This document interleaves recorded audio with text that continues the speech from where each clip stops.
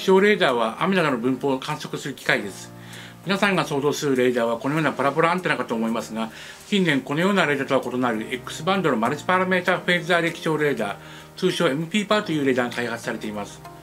今日はこの MP パートスーパーセルと呼ばれる竜巻を引き起こす積乱雲の観測例を紹介します。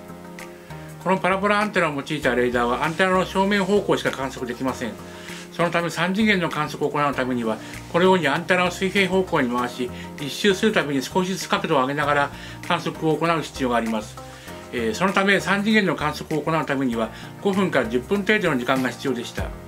一方フェーズアレイレーダーと呼ばれるレーダーは平面のアンテナを使いますが水平方向から真上方向までの観測を同時に行うことができますのでアンテナを一周回すだけで3次元の観測ができます。従来5分から10分かかっていた観測が30秒程度でできるようになりました。さらに国土交通省の X レインで実用化されているマルチパラメータ観測機能を追加し高精度な高強度の推定を可能にしたのが X バンドル MP パーです。ま、トランプのポーカーで言えばストレートフラッシュのようなレーダーといったところでしょうか。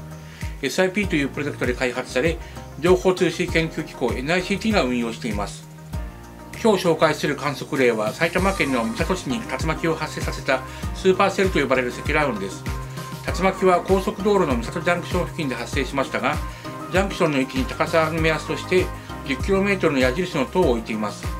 白、青、赤の影は MP パーで30秒ごとに観測された降水の分布です。黄色のマーカーの位置で竜巻が発生しましたが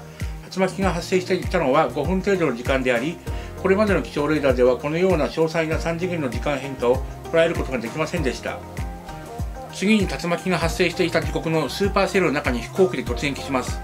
見やすくするために赤の雨の多い領域のみを表示します。右下に高度 1km の雨の分布を示していますがこの雨のない領域に飛行機が突入し旋回します。スーパーセルの内部にはほとんど降水のない部屋のような空間が存在しその上の方を見上げると天井がくぼんでいる様子が見えます。この構造は西洋の教会のアーチ状の天井によく似ているためボルトと呼ばれます。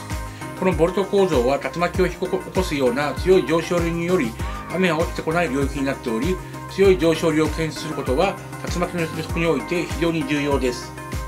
このように MP パワーを用いるとこれまで捉えられなかった現象を観測することができます。MP パーに加えこの時間分解の良さを生かした新しい解析手法を開発することにより豪雨や突風のより良い監視や予測を行う研究をしています。つまり、ま、ストレートフラッシュのレーダーに高機能な解析手法を追加することでロイヤルストレートフラッシュにするような研究を行っていると言えます。